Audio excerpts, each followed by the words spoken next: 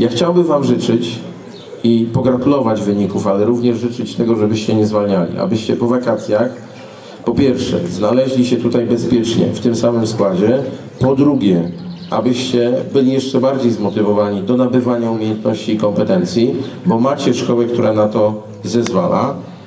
Chciałbym pogratulować również rodzicom, którzy są dzisiaj tutaj z nami, z uwagi na to, że mogą być Państwo dumni ze swoich pociech. Osiągnęły założone cele, być może jeszcze niektóre stopnie dałoby się poprawić, ale to w życiu tak jest. Ja zawsze powtarzam e, takie swoje chyba powiedzenie, bo gdzieś kiedyś ono powstało, że zawsze najbardziej wdzięczny jestem tym, którzy ode mnie wymagają. Ono jest trochę poszerzone, ja nie będę w, w całości przytaczał, bo koniec roku to nie czas na przysłowia, ale chodzi o to generalnie, że najwięcej nas uczą nasi wrogowie, a nie nasi przyjaciele, bo nasi przyjaciele to nas zawsze głaskają, a nasi wrogowie od nas wymagają pozwalają na to, żebyśmy czuli się silniejsi. I tak bardzo często również w szkole odbieracie, że ten najgorszy nauczyciel, co najwięcej wymaga, co tak najtrudniej u niego poprawić tą ocenę, to, ten, to jest ten największy wróg.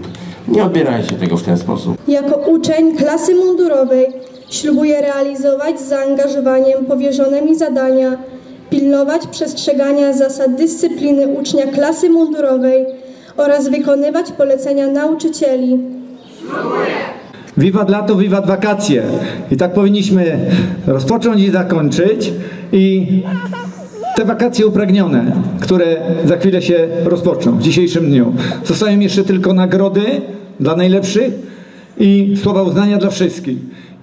Dziękuję dyrekcji, dziękuję nauczycielom, rodzicom. Wam życzę bezpiecznych wakacji, żebyśmy mogli tu 1 września, właściwie 2, spotkać się na nowo w murach tej szkoły. Bardzo dobrej szkoły, która jest przodującą szkołą nie tylko w powiecie, w Wielkopolsce, ale jest już w całym kraju, a wychodzi również swoimi ramami poza naszą ojczyznę.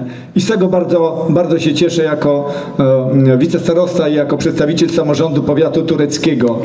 Okolicznościowy adres gratulacjami przekażę panu dyrektorowi, a bukiet pięknych kwiatów niech będzie wyrazem podziękowania dla nauczycieli, ale również dla e, rodziców za trud wychowania i edukacji w tej trudnej nauce, ale która niesie za sobą e, to, o co zawsze najważniejsze.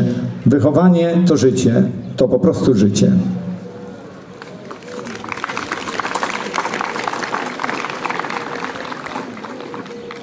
I to jest replika polskiej szabli oficerskiej, wzór 34, którą odebraliśmy wczoraj na gali finałowej w Poznaniu. I nie ukrywajmy, nie byłoby tego sukcesu bez Pana ogromnego wsparcia. I tym przekazaniem chcielibyśmy Panu serdecznie podziękować.